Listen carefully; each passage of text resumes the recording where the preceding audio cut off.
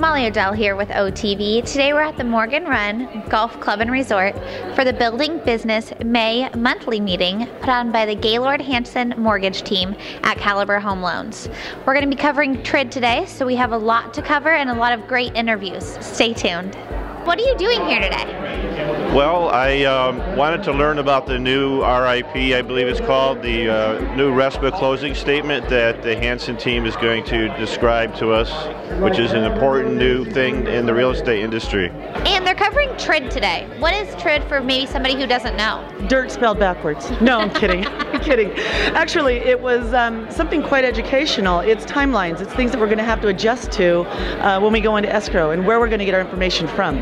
Well, TRID is going to change so many things on August 1st, uh, and it's going to be a huge coordination between the realtors, between the builders, between the escrow people, mortgage people, everybody, borrower, listing agents. So it's so important to get everybody on the same page to have smooth transactions. So, Patty, why did you feel it was important to come out to this event today?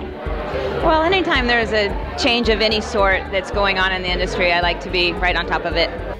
The number one thing changing with TRID is the forms themselves, the, the good faith estimate and the truth in lending is changing to the loan estimate.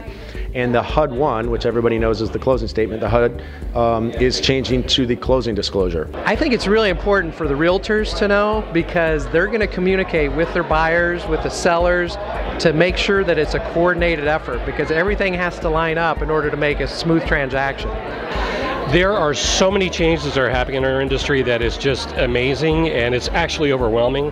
And if we don't know about these things, there's going to be a lot of things that will screw up in real estate transactions. And I think it's really important to come to these conferences to understand those things and keep things running smoothly. Thank you so much for watching. And to watch more of our segments, log on to oakwoodtv.tv.